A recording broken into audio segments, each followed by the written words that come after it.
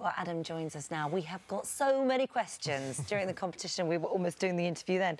Um, where, where did the idea for this come from? Because initially, you, like us, sort of were a bit uneasy with this whole subject matter, really. Yeah, it, it's such a deep subject matter. And this came about, I had a conversation with the head of development at the company who made this in, in the pub one night after work. And I just said casually, I got offered a job at a freak show on Facebook. Mm. And he looked at me slightly shocked. I went, Would you do it?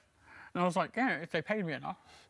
And then the idea for this documentary came about. What what are freak shows? Do they still exist? How far have they moved on from the vaudevillian days of Joseph Merrick? So is it all for, for you? Was it just down to money? Um, no, I, that was a very kind of tongue-in-cheek comment said in the, in the pub. But then the more you think about it, the more you, you want to know about it. My yeah. curiosity was indeed piqued by it. Was it still the same as humans in cages with the baying Victorian masses gawping at them for a shilling? And was it? Um, no, it's it's moved on quite a lot, and it, it's so it's so multifaceted now. Is well. it? Well, tell me how, because in my head, I'm still envisaging people paying to come and see something they don't normally see.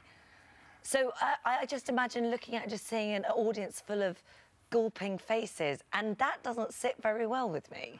No, and that's what I thought it would be as well. I think in America, they are fascinated by the unique, the bizarre, and things that are very much on the fringes. The vast majority of them absolutely adore it. They're making money out of their differences and they're getting to raise awareness of their differences as well. Well, it's interesting you say that because uh, we're back to money again. A lot of a lot of them saying that uh, that they're making a lot of money, which um, which they some would say they've been forced into doing that, so therefore they're getting paid. It's the only way that they could make the living.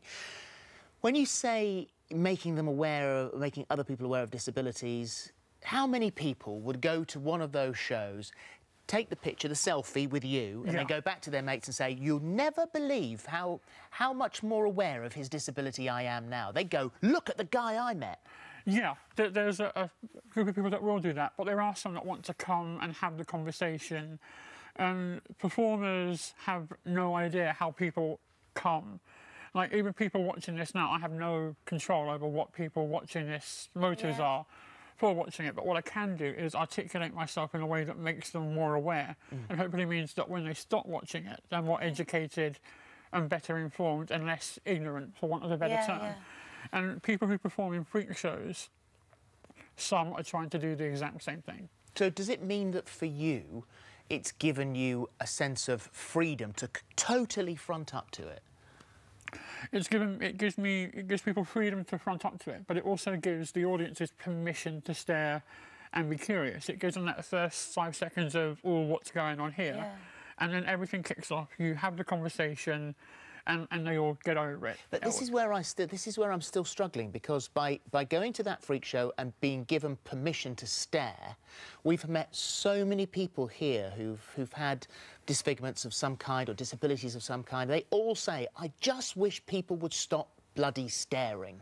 And so if you're encouraging them to do that at freak shows, then they're just going to continue to do it in the street. There's no education in that.